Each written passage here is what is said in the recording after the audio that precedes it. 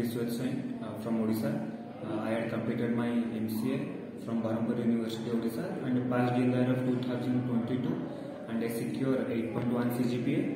So, if I uh, talk about JSpider, I will say definitely one of the best institute in India. So before coming to here, I was like, I am thinking, yes, I know everything, I will crack the interview, so I don't need any institute.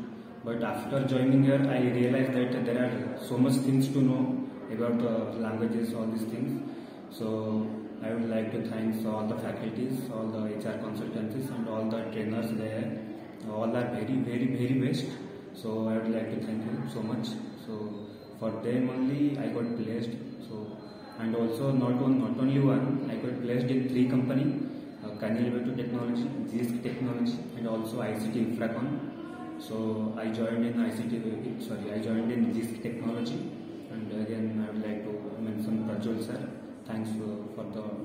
Ajay is a good trainer, good person also.